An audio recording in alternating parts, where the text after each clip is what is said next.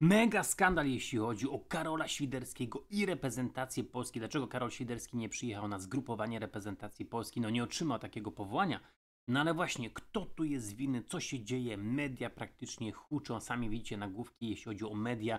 Dzisiaj zrobimy tak naprawdę ocenę obiektywną. Nie chciałbym tutaj też osądzać jednostronnie, bo niektórzy dziennikarze, niektóre media już po prostu osądziły tutaj Karola Świderskiego. Przede wszystkim głos tutaj powinien zabrać sam zainteresowany Karol Świderski powinien też zabrać głos jego klub. Natomiast no, przeanalizujemy całą tą sytuację, zobaczymy jak to wygląda. O tym wszystkim w dalszej części tego filmu. Na samym początku, jeśli mnie jeszcze nie subskrybujesz, to zostaw suba, zostaw też łapkę do góry pod tym filmikiem. Kliknij grze w dzwona, dostaniesz powiadomienie, kiedy wrzucę nowy filmik. Wejdźcie też na mojego fanpage'a na Facebooku, zalajkujcie go.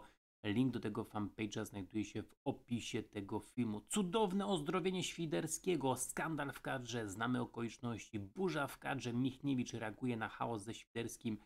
Rzecznik PZPN ujawnił pismo od klubu Karola Świderskiego.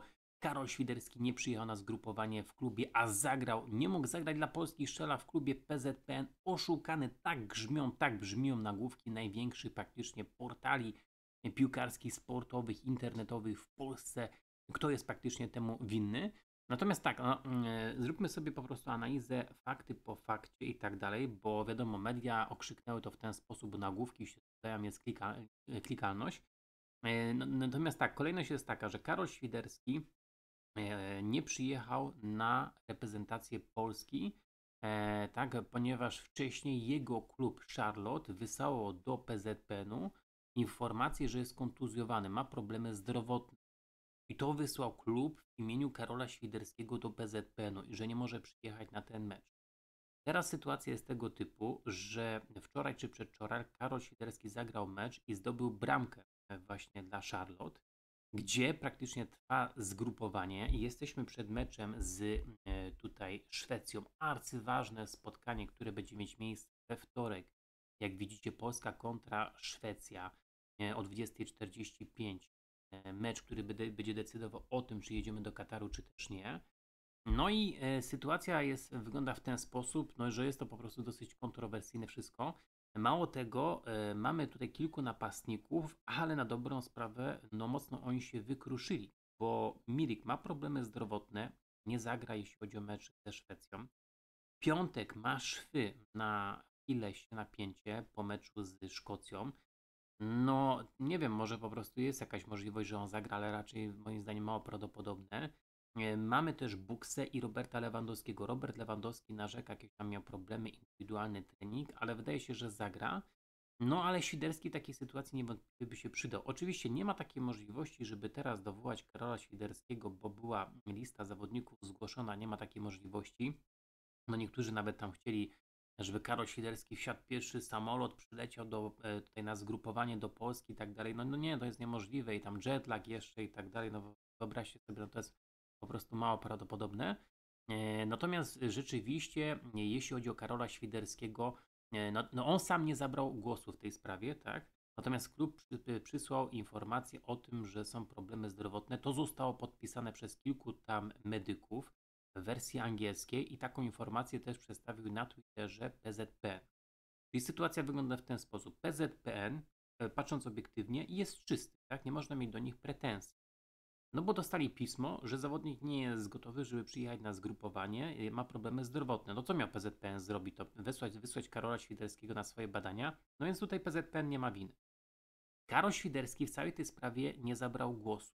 Klub wysłał taką informację na temat jego stanu zdrowia. Nie wiadomo, czy tu nastąpiło cudowne ozdrowienie, czy tak go szybko doprowadzili do zdrowia, czy ten problem zdrowotny okazał się mikrourazem, nie był on tak straszny, czy też klub Charlotte zachował się po prostu nie fair w stosunku do reprezentacji, przytrzymał zawodnika, bo nie chciał, żeby on grał w reprezentacji, tak? Wolał po prostu tego zawodnika mieć u siebie, wykorzystać go właśnie chociażby w tym wczorajszym, przed, przedwczorajszym meczu, gdzie zdobył bramkę no to byłoby skandaliczne, bo oczywiście reprezentacja jest na pierwszym miejscu. Jak gdyby nawet po prostu mieszka na drugim końcu świata, przydatuje na mecz reprezentacji Polski e, i robi wszystko. Natomiast zobaczmy sobie też tak, bo spadły gromy na Karola Świderskiego.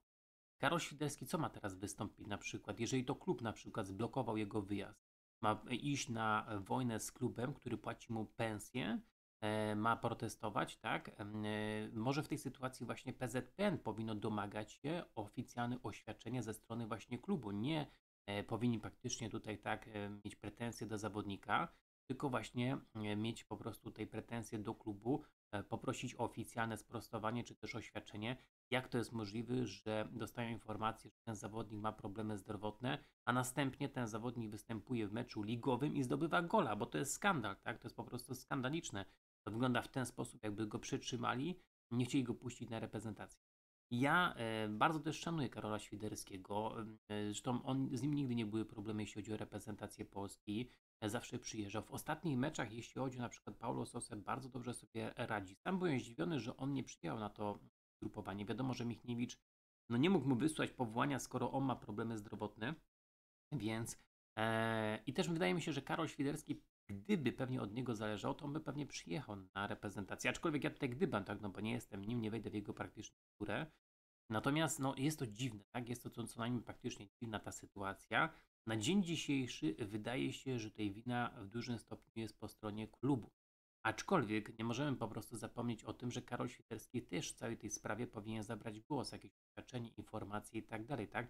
No ja rozumiem o tym, że klub może go zblokować i tak dalej, natomiast no, niech on sobie sam się po prostu postawi w sytuacji kibiców reprezentacji Polski, tak? Nie przyjeżdża na zgrupowanie Polski, e, widzi, e, że mamy po prostu mecz ze Szwecją, bardzo ważne. Jest informacja, że ma problemy zdrowotne, po czym gra w meczu ligowym i zdobywa gola.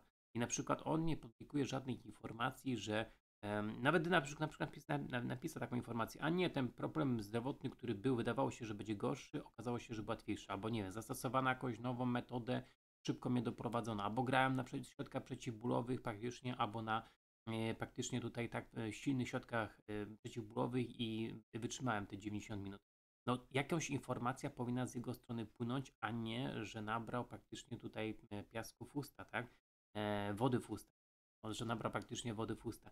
Więc tutaj pretensja do niego na pewno jest taka, że dzisiaj muszą media praktycznie całą tą sprawę rozdmuchiwać, zamiast zawodnik po tym meczu, jak jeszcze jak zdobył gola, powinien przecież poinformować, co się dzieje, tak, co się dzieje.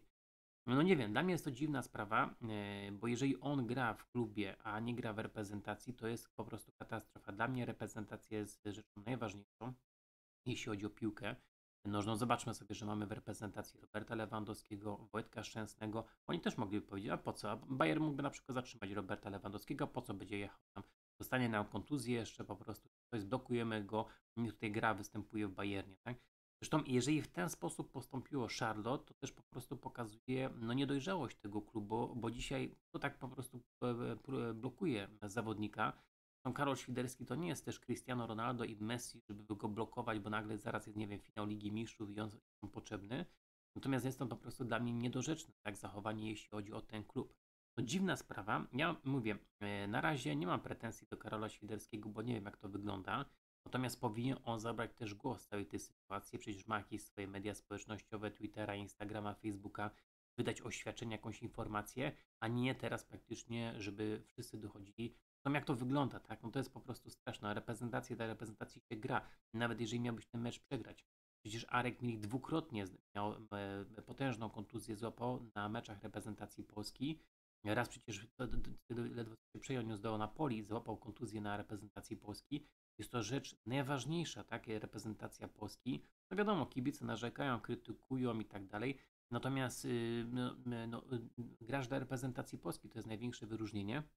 E, I tak samo powinien zabrać w całej tej sytuacji e, zdanie, tak? No, wydaje mi się, że jeżeli on przedstawiłby jakieś swoje oświadczenie, to chyba też go klub nie zwolni od razu, albo po prostu, nie wiem, nie zapłaci mu pensji, bo jak mu powie po prostu, co się dzieje.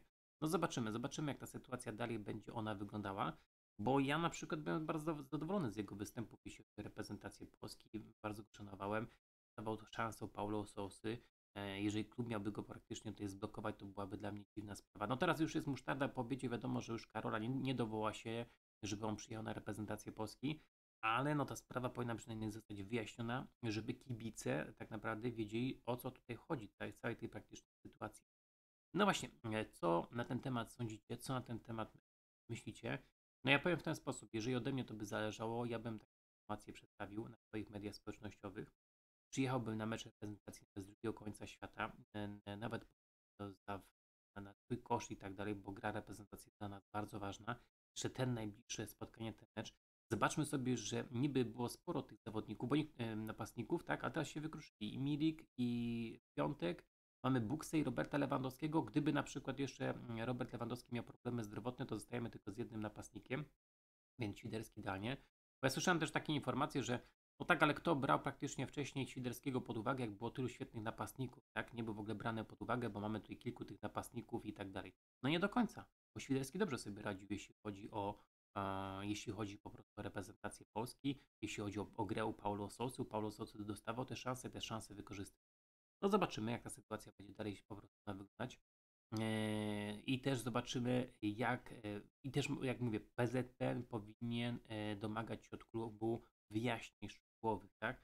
E, Nie można się tłumaczyć, o, bo to jest gdzieś tam daleko i tak dalej, tak? E, Jakby po tej sytuacji, bo PZPN dostał informację na temat jego stanu zdrowia, to jest ok. Natomiast inna sprawa, to powinien domagać się wyjaśnień, jeśli chodzi o tą sytuację e, z Karolem Świderskim, tak? Dlaczego po prostu on zagrał, skoro po prostu była informacja, że ma problemy zdrowotne. Zwłaszcza, że tam po prostu było, że będzie pauzował dwa tygodnie, tak? Więc jeszcze powinien pauzować problemy zdrowotne. Zobaczymy to wszystko dzisiaj. Pozdrawiam, stawcie